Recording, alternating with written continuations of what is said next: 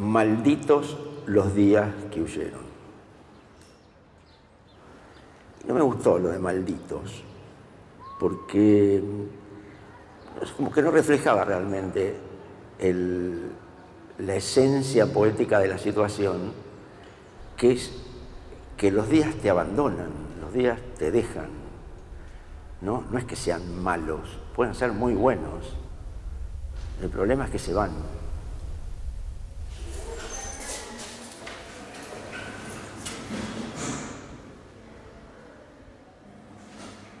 Como un juego entre la melancolía y la antimelancolía.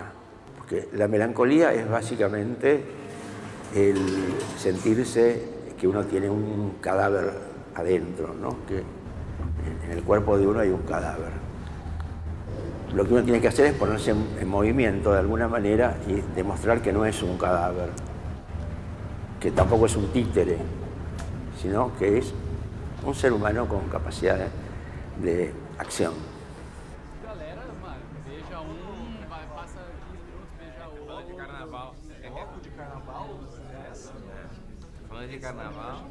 Esa apropiación de, Mao para corregirlo y mejorarlo.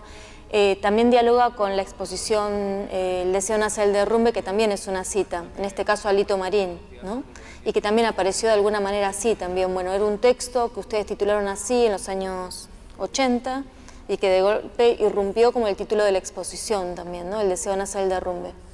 Yo creo que te, que funcionan como una suerte de bisagra entre momentos donde eh, cierta institucionalidad te exige una especie de puesta en escena o de estado de la cuestión y esta pulsión tuya por siempre seguir haciendo hacia adelante, que es muy, muy fuerte y que eh, a veces colisiona con esa demanda de organizar un relato más o menos este, acorde del pasado de Roberto Jacobi. Sí, no, está bien. Es verdad. Algo tienen esas piezas que no tuve, eh, no tuve conflicto. No tuve un conflicto, decir, ah, esto va a ir a un museo, qué desgracia, ¿para qué? ¿Por qué? No se va a entender nada. Es raro, nunca me pasa.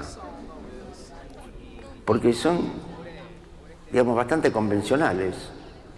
Una escultura, una, otra escultura, otra escultura, unos cuadros de óleo, unos cuadros de nueva figuración, unos paisajes, unos eh, bodegones, dibujos realistas, ejercicios, estudios de modelo, estudios de cabeza, eh, dibujos en broma.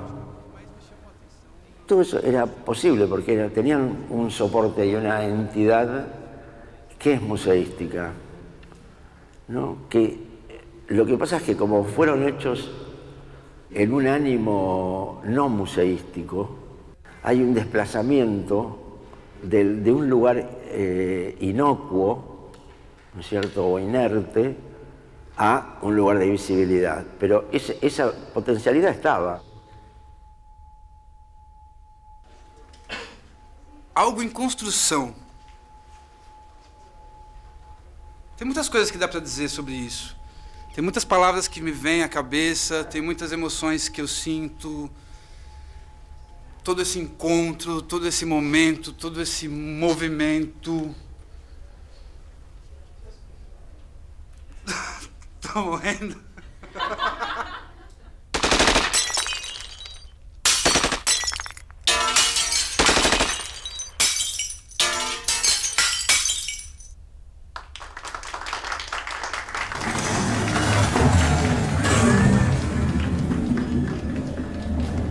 Eu falei, não, porque no carnaval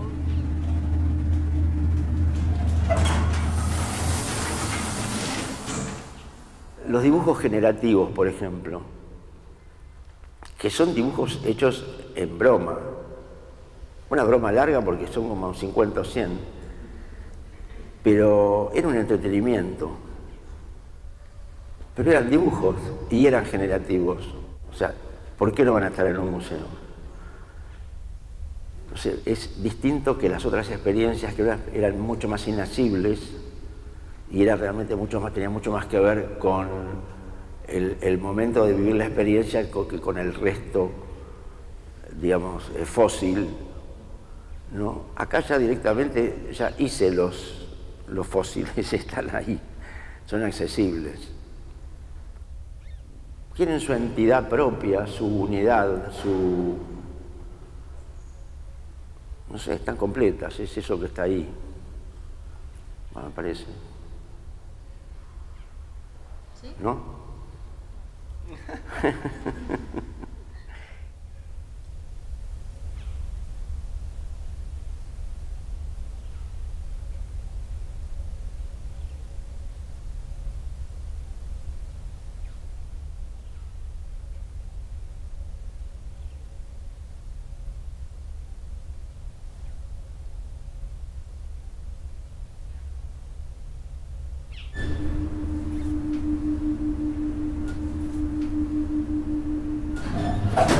Yo los poemas los escribo bastante eh, como copiando de internet, de Google. Viste, al revés que los, poetas románticos que esperan que baje la musa, yo hago tic, Google, pongo una palabra y de todo lo que sale de ahí, con eso escribo. Y empecé a escribir hace poco yo, y al mismo tiempo me desmaterialicé. De los 60, con todo el grupo de los medios, Tuvimos todo un pensamiento acerca de la desmaterialización que venía desde la época de la Revolución Rusa. Eso se me convirtió como en una especie de, opción frente a las, otras materias que yo encaro normalmente, que son mucho más complicadas, ¿no? como grandes organizaciones sociales, este, revistas que duran 10 años y hay que sostenerlas. Y... En cambio, escribir poesía es muy fácil, no requiere nada, no hay que pedirle nada a nadie. Finalmente el lenguaje es la materia menos material, más social, ¿no? que es una comunidad en sí mismo, no hace falta organizar una comunidad, que cosas que yo me he tomado tanto trabajo en hacer porque ya el lenguaje es una comunidad organizada. Digamos, ya viene hecho. ¿no? Nosotros tomamos el lenguaje tal como está, como un producto social, y sobre eso trabajamos y lo, lo devolvemos a la circulación.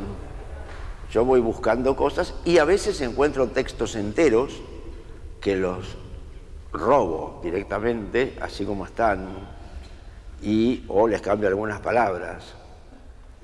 Y que pienso que todo el mundo, del vasto mundo, es, es nuestro.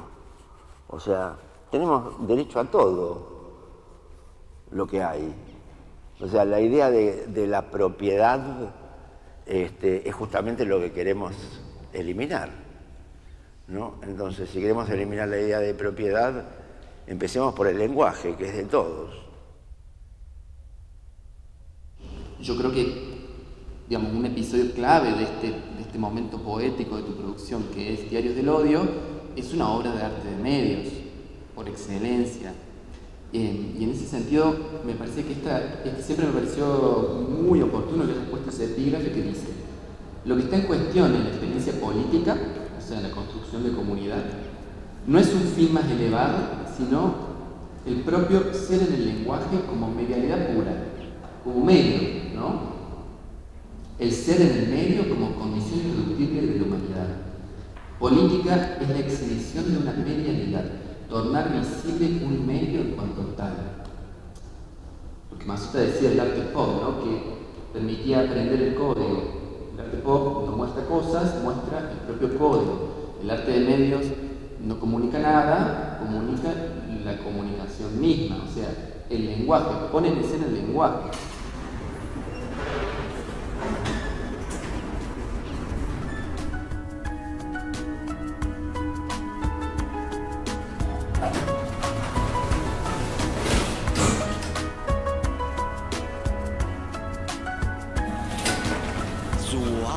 Sube, pero no sabe que el vuelo es leve. No, pensaba en, algo que siempre, siempre decís que tiene que ver con que el género que más te gusta es la conversación y que a veces toma la forma de libros o de exposiciones, pero que sobre todo es este ejercicio de, pensar con otros. ¿no? Eh, y en ese sentido pensaba que el título de Traidores los días que huyeron, esa cita, esa apropiación de, de Mao para corregirlo y mejorarlo, aunque el título venga de otro lado, Traidores días que huyeron remite a esa juventud, esa, entre el terror y la fiesta, esa escena de la contracultura en medio de la dictadura, la escena de virus, etc. Esta decisión tuya de fotografiar desde la posición del escenario, pero abajo del escenario, hacia el público.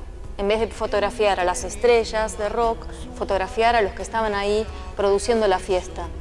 También dan cuenta de esa escena, y de esas decisiones tuyas y de ese involucramiento con un colectivo, el trabajo en colaboración con Alejandro Ross o con Pablo Suárez o con Fernanda Laguna o con Kiwi, digamos, gente clave en, tu trayectoria que hable de un modo de hacer siempre en colaboración con, ¿no? en colectivo. Entonces, es una muestra de Roberto Jacobi, pero también es como la posibilidad de aperturas o ventanas a esas escenas colectivas que van más allá ¿no? Del objeto material en sí.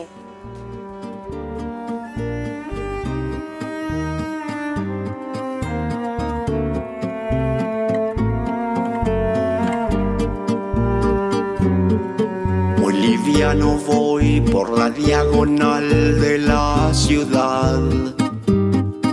Bebo rojo el sol del amanecer, no llevo voz ni canción. Soy turista extraño en el andén del autobús.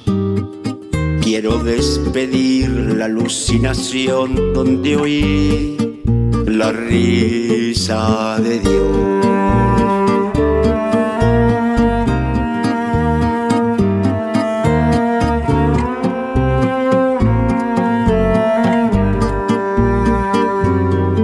Asesino cruel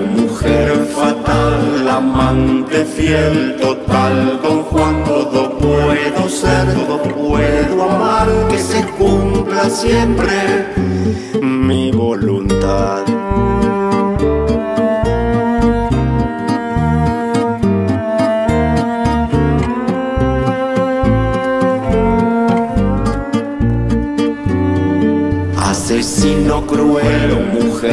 Fatal, amante fiel total, don Juan puedo ser, todo puedo amar, que se cumpla siempre mi voluntad. La se está muriendo, no porque tenga sida, la gente se está muriendo porque no se hizo los análisis a tiempo y no hizo lo que tenía que hacer. Cuando se lo van a hacer ya es tarde, ya no le sirve ni el remedio ni nada.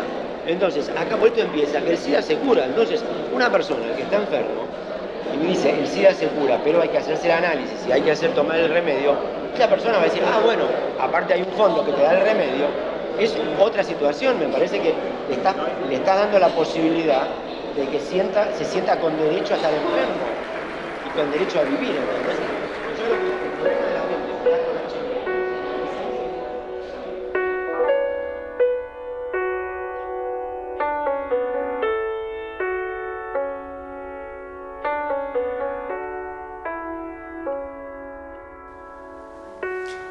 Pensando en este tema de, esos recorridos e insistencias, pensaba en algo que, digamos, que parecía que había múltiples Jacobis, ¿no? Estaba el Jacobi de la sociología, el Jacobi de la vanguardia de los 60, el Jacobi de las letras de virus, de las comunidades experimentales, y que lo que intentó eh, el libro fue mostrar esos múltiples registros, esos múltiples géneros a los que vos apelabas a nivel textual, a nivel de la escritura o de los modos de intervención desde la escritura, a partir de, conceptos mm, que vos llamás conceptos fetiche, ¿no? que atraviesan tu producción eh, y que puede asumir diferentes formas, pero que insisten. ¿no? Y pensaba que, que, hay varias de esas insistencias que aparecen en esta exposición, como aparecieron en, otros momentos.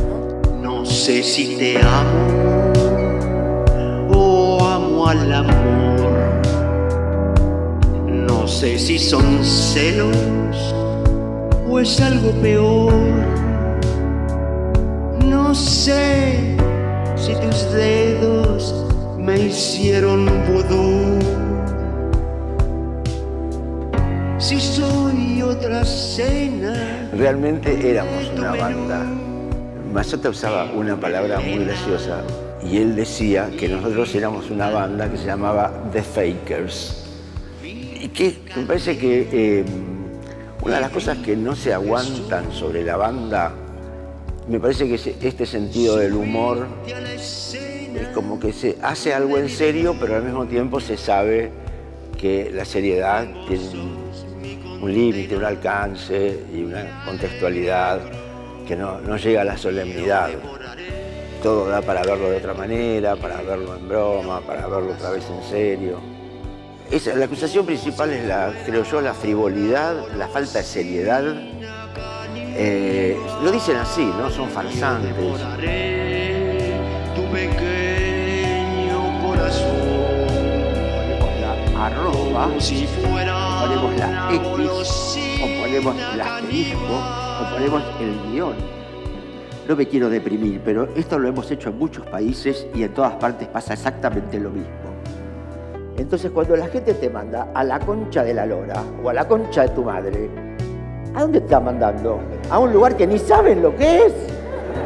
Hay una frase que me encanta de, de Mazota que dice algo así como, yo no soy happenista, pero hago happenings, de la misma manera que no soy poeta, y que no se define como tal, pero produce intervenciones en diferentes territorios, con diferentes lenguajes no autorizados. Y la frase termina diciendo algo así como, espero que esto tenga por lo menos la virtud de intranquilizar o incomodar a alguien. Es decir, no construir un relato canónico o, eh, regulador o establecedor de pautas, de la misma manera que creo que ningún ejercicio de los que propone Roberto respecto de su propia trayectoria eh, construyen ese canon o esa, ese relato tranquilizador o sino más bien desacomodan eh, los prejuicios desde los cuales podemos acercarnos a Mazota o a Roberto o, o a esa escena tan, tan vívida, ¿no? Está bien. No, es bueno tener gente como Luis o como Ana que hacen inteligible para uno mismo lo que uno hace, ¿no? Y claro, porque eh, la idea de que uno sabe lo que hace es una, es una ingenuidad tremenda. ¿no? Nadie sabe lo que hace. Eh, y sin embargo lo hace.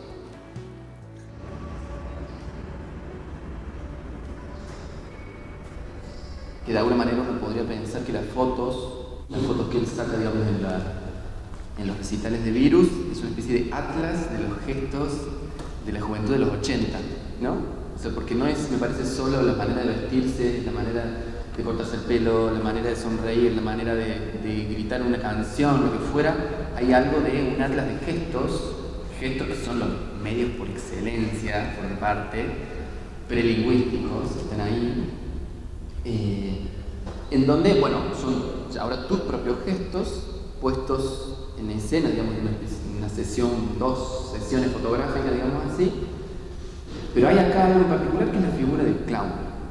En tu recorrido siempre tuvo esa dimensión de, de lo que se autoironiza y que utiliza una suerte de estrategia de la, de la frivolidad táctica, ¿no? que es la del bufón. Digamos que el bufón además tiene en la tradición un rol político clave. Digamos, es el que puede decir en relación al poder cosas que no, otros no pueden decir. ¿no? Eh, esa burla, esa ironía, esa, esa dimensión, sí, irónica, creo yo, que es como autorreflexiva, ¿no? que es el gesto un poco del arte de medio siempre, pensar sobre las propias condiciones de lo que se está enunciando.